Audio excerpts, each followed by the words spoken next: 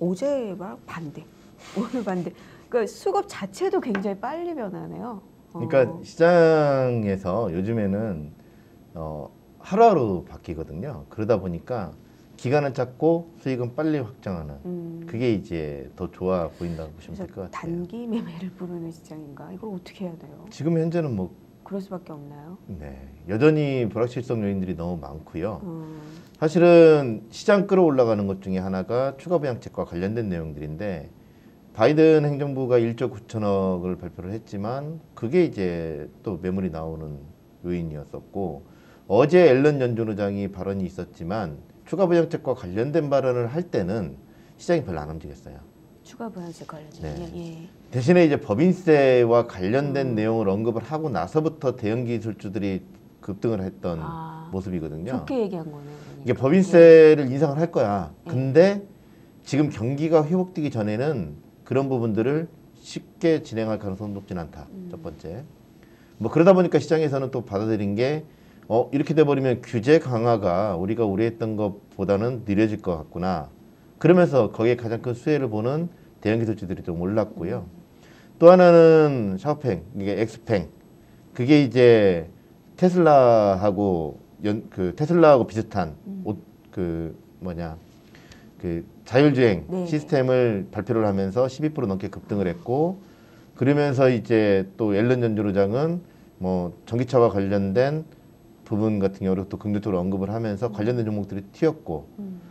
뭐 그러다 보니까 시장은 그런 부분들에 계속 왔다 갔다 하는 거라고 보시면 돼요. 그래서 그 이유 때문에 기술주가 좀 더 상대적으로 강하게 네. 움직인다. 거기다가 이제 5G라든지 뭐 그렇게 돼버리면 전체적으로 5G라든지 뭐 이런 것들 그래서 반도체 업종들이 음. 어제 팀에서 필라델피아 반도체 지수가 3% 넘게 상승을 한 거고요. 네네네. 이제 그런 것들을 생각을 해보면 그 드러나 있는 내용들은 결국은 뭐 5G라든지 뭐 이런 쪽과 관련된 거, 자율주행과 관련된 거, 그 다음에 이제 뭐 길리드 사이언스라든지 뭐 일라일릴리나 이런 쪽 같은 경우는 개별 호재성 재료로 상승을 하긴 했지만 다른 이제 백신과 관련된 종목들이 좀 줄어들 주고 그좀 문제가 있으면서 그 오늘 국내에서 관련 제약주들이 좀 튀고 뭐 이런 식의 움직임들이 이어지면서 개별 종목들이 좀 많이 올랐다고 보시면 돼요. 그래서 코스닥이 급등을 했다라고 보시면 될 것 같습니다. 음. 대체적으로.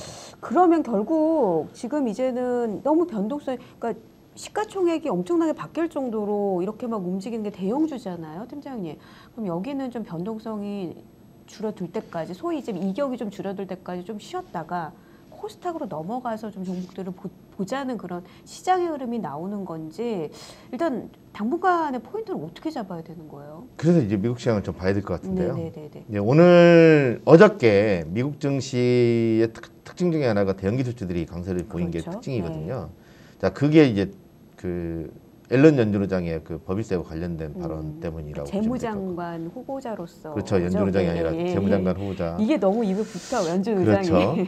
아무튼 그러다 보니까 이제 네. 그 관련된 종목들이 튀었어요. 그다음에 미국장 끝나고 나서 넷플릭스가 실적 발표를 했는데 어, 순이익은 별로 안 좋았어요. 음. 그럼에도 불구하고 폭등을 했습니다. 왜? 네. 그 가입자 수가 2억 명이 넘었거든요. 아 늘었네. 그러니까 향후에도 넷플릭스의 실적이라든지 이런 부분들이 견고한 모습을 보일 것이다라는 기대가 높아지면서 12%가 뛰었어요. 그래, 근데 이 내용은 이미 알려져 있던 내용. 그러니까 그 얼마 전에 디즈니가 빠질 때 디즈니의 가입자 수의 증가가 그렇게 빨리 증가하지 못하고 있는 대신에 넷플릭스가 어, 훨씬 더 많이 증가하고 있다라는 보도가 나오면서 넷, 그 넷플릭스 올라가고 디즈니 빠졌었는데 네. 일단 뭐 어느 정도 애견됐지만 그래도 이제 반응을 보이고 있는 거고요. 넷플릭스가 이렇게 좋게 나오니까 어 그래 그러면서 이제 디즈니도 시간 외로 한 2% 정도 뛰고 있는 상황인 거고 더더 좋은 거는 이러다 보니까 판기업들 네. 판기업들이 전부 다, 다 지금 시간 외로 0.5% 이상 다 올라가고 있는 상황들.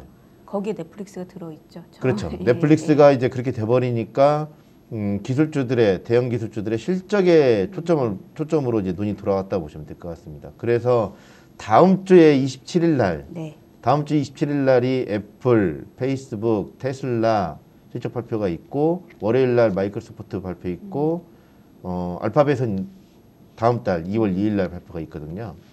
원래 이제 월 말에 다 몰려 있었는데 이게 확정이 된 게 27일 날이에요. 그래서 27일 날 그 전까지 판기업들의 상승이 좀 이어질 가능성이 좀 높다 미국에서. 네. 자 그리고 그 말은 뭐냐면 그동안 판기업들이 못 올랐잖아요. 네. 규제라든지 뭐 여러 가지 조건들 때문에 대신에 이제 뭐 다른 쪽에 포커스를 맞춰서 2차 전지라든지 전기차 이런 것들이 급등을 했다라면 이 판기업들 중심으로 해서 수급이 이제 뭐 갈 데 없으니까 이쪽으로 다시, 다시 쏠리는 그러면서 이제 관련된 종목들만 올라가주는 이걸 단기적으로는 이제 막 가치주보다는 이런 대형 기술주 중심으로 해서 강세를 좀 보이는 그 시장이 좀 전개될 가능성이 좀 높고요. 그다음에 오늘 일단은 바이든 행정부가 출범을 합니다. 네. 네. 어, 출범을 하는데 어, 바이든 행정부가 딱 출범하고 나서 이제 첫 번째 하는 게 이민 정책이라든지 뭐 파리 기후 협약 네. 재가입이라든지 뭐 이런 것들. 예. 음, 그러다 보니까 관련된 종목들의 움직임이 오늘 뚜렷하게 나올 가능성이 높아요. 음. 그뭐 자세한 그게- 것들은 네, 네, 네. 저기 저희 홈페이지 들어가셔서 네. 이 리서치 안에 제가 이제 그 일간 증시 전망 이 데일리를 계속 올리는 그 곳에 보면 장중이나 아니면 장 마감 근처에 제가 관련된 내용들을 정리를 해서 올려요. 음. 그러니까 오늘 같은 경우는 뭐 그 취임식 이후의 행동들에 대해서 네. 그러니까 파리 기후 협약 재가입이라든지 뭐 입국 금지 그러니까 이민적 그 관련된 것들 마스크 의무와 관련된 것들 뭐 이런 것들이 좀 있는데 시장에 주목하고 있는 건 이 부분입니다. 사회적 거리두기. 음. 그러니까 지금 사망자가 40만 명이 넘었어요. 네, 네. 40만 명이 넘다 보니까 대체적으로 여기에 대해서 어떻게 적응을 할 거냐. 그래서 이제 혹시나 강경한 봉쇄 정책이 나올 수 있을까라는 우려가 좀 나오고 있어서 이 부분에 좀 포커스를 맞추고 그러니까 있는 다시 상황인 말해서 거죠. 그거 또 우리 그 폐쇄하는 거 있잖아요. 경제 그, 봉쇄와 네, 그런 관련돼서. 거까지 나올 것이냐 그 점도 시장에서는 보고 있다는 말씀이죠. 그렇죠. 이제 그? 부분에 네. 대해서 상당히 우려를 하고 있고 실질적으로 만약에 그렇게 돼버리면 그걸 빌미로 해서 매물이 나올 수 있다는 점을 음. 배제할 수가 없는 거고요. 물론 이제 그 바이든 행정부가 그렇게 된다 하더라도 방금 전에 말씀드렸듯이 이렇게 판기업들 음, 이, 이 내용이 또 안에 있으니까 참고를 하시면 될 것 같습니다. 음. 대체적으로 관련된 이게 실적이 뚜렷하게 개선되는 종목 중심으로 이제 시장이 포커스를 맞추고 있다라는 게 이제 오늘 어제부터 이제 나타나기 시작한 흐름이라고 보시면 될 것 같습니다. 네. 이게 12월 달부터는 차익 매물이 좀 나오는 그런 시장이었다라면 그러다 보니까 그걸 소화하고 뭐 이런 식으로 하다 보니까 뭐 반발 매수에도 강하게 들어오고 그러면서 위아래로 변동폭이 컸다라면 이제는 이렇게 이제 실적이 뚜렷하게 개선이 되는 종목들 중심으로 해서 매수세가 몰리는 그런 흐름을 좀 보일 것으로 예상을 하고 있습니다. 그다음에 이제 여기에 보면 제가 요즘에 이제 화두가 되고 있는 위험 요인들에 대해서 어 조금 정리를 해놨으니까 이거는 한 번씩 고민을 해봐야 되는 그런 내용들이기 때문에 한번 넣어놓긴 네. 했습니다. 그러니까 알겠습니다. 어차피. 변동성이 커지면 이런 얘기 여기서 나올 수 있다는 말씀이시죠? 그렇죠. 관련된 내용이 나와버리면 변동성이 커지겠죠. 그러니까 음. 지금 현재 valuation이 상당히 높아져 있는 상황에서 만약에 실적이 예상을 하회하거나 실적이 좋다 하더라도 기대했던 것보다도 좋긴 하지만 어마어마하게 좋은 모습이 아니면 음. 그 다음에 뭐 그거 말고도 추가적으로 자사주 매입이라든지 배당을 올린다든지 이런 조치들이 나오지 않는 이상은 미증시에서 이제 매물이 나오는 그런 경향들이 최근 들어서 나타나고 있는 현상이거든요. 그래서 이제 이게 뭘 얘기를 하냐면 이제 어 추가 병책 다 알겠는데 그 이상의 것들을 내놔라. 네. 시장은 그렇게 하고 있는 거라고 보시면 돼요. 네. 그럼 우리나라 주식시장도 마찬가지라고 보시면 될 것 같습니다. 그러니까 그 지금 막 대형주들이 변동성이 이렇게 막 왔다 갔다 커지는 이유는 뚜렷한 모멘텀 자체가 없기 때문이라고 보시면 돼요. 이게 실적이 좋거나 아니면 정부에서 무슨 정책이 나오거나 기업들의 뭐 뚜렷한 호재성 재료가 나오거나 아니면 M&A라든지 뭐 여러 가지 조치를 통해서 아니면 배당을 올리거나 네. 이런 식의 움직임이 나왔을 때 그걸 기반으로 해서 반등을 주는 모습을 좀 보일 수는 그게 있겠지만 진짜 그렇죠. 진짜다. 예.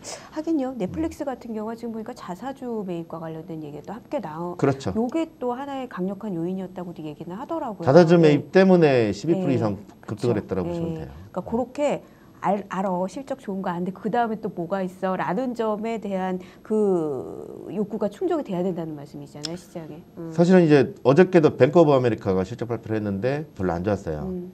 그래서 처음 장 시작하기 전에는 빠져서 시작했는데 어, 자사주 매입한대. 그러니까 갑자기 쫙 끌어올라가면서 올라가긴 했었죠. 네. 물론 이제 장 후반으로 갈수록 골드만삭스는 아무것도 발표 안 하는데 실적은 좋은데 아무것도 발표 안 하니까 쭉 밀리고 음, 그게 같이 동반해서 빠지는 음.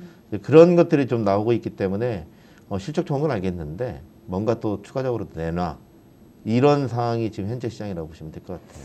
그게 미국도 그렇고 우리나라도. 마찬가지고. 예, 여기에 이제 변동성은 있을 것이고 이 변동성을 좀 유의하는 그런 전략들은 계속 필요하다.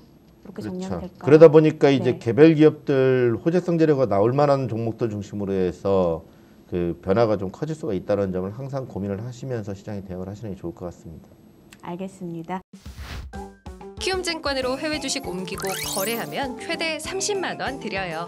투자 시 원금 손실에 유의하세요.